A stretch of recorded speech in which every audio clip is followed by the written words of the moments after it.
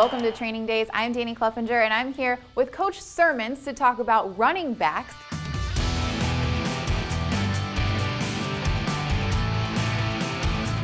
Well, one of the plays that um, that I want to describe to you is um, is a power play. Defenses are designed to stop the run. They assign each defensive player a gap. You can see basically what they're doing is building a wall here. And the biggest thing with the power play, what it wants to do is create some double teams and knock a hole in the wall that the defense is, is trying to take care of. And what we have the, the H or the tailback doing this is he's going to line right at about seven to seven and a half yards.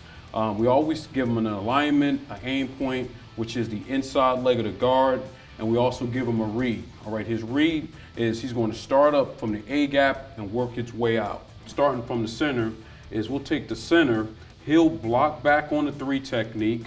We'll take the, um, the front side or play side guard. He's going to block down on the nose and here's our double team that we're trying to create. All right, in a perfect world, we say that this defensive end is responsible for the C gap. So we're going to double team him to get some good push, and they're going to work their combination block back here to the will linebacker. The fullback is responsible for the Sam. What we do backside here, and part of the reason why we have the center blocking back, is because we're going to take this backside guard and we're going to pull him around and he's responsible for that front side bubble backer, in this case the Mike.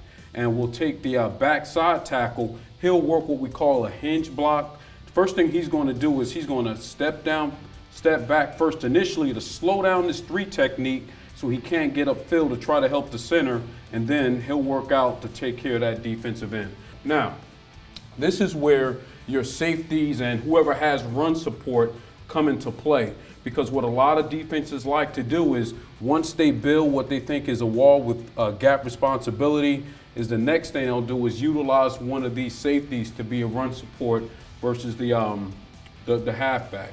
So that's when we come over here to the play side receiver. He's going to initially going to take off and he's going to assess this cornerback. If the cornerback stays here, he will block him. If that cornerback drops off, all right, because they're playing some type of quarters coverage. We're going to bring that safety down. What you will see is you'll see that receiver let uh, leave the corner, and now he'll run in and try to get to that um, safety before he can make the play. Now, talking about the halfback. The halfback has a couple of things that happens to him before that ball is even snapped. Uh, the first thing he's always trying to do is, is assess what type of front he has to understand where he needs to fit the play. Once those things happen, is he's going to take his drop step. The quarterback is going to try to run the ball to him as deep as possible.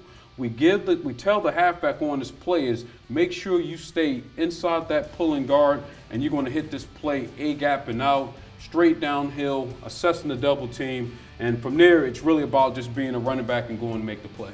Now, Coach, we're going to see this play in action, right? You've got Correct. it to show me? Correct. Well, let's watch it. All right. Each defender um, it has gap responsibility. That's how they try to build the wall to stop your run game. Here's the first initial down block right there by the left guard on the nose.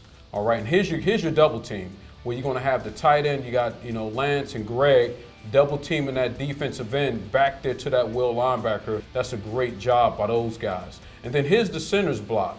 All right, blocking back on that three technique, and like we mentioned, the backside tackle has to step down to prevent him from penetrating upfield. Fullback responsible for the Sam who's up on the ball. A nice job here by, by Tre Mason. Boom, there's the same. And it gets back to what I was talking about, is for backs, you have to have really good quick feet because the hole is going to open and close fast. I mean, he's got two, two um, defensive players that get a, gets a hand on him, but you know, he gets through there. This, we always tease Mace about this because we put him one-on-one -on -one with the safety, and you got to, those are the ones we're expecting expecting him to win. Well, Coach, thanks for breaking down the backfield yeah, with me. Should, I really appreciate it. Well, you should it. know about it that time you spent with us. I know. Right? I'm a running back at heart. that, that's right. You did a great job Thank that. you. Thanks, Coach, and thanks, fans, for tuning in to Training Days.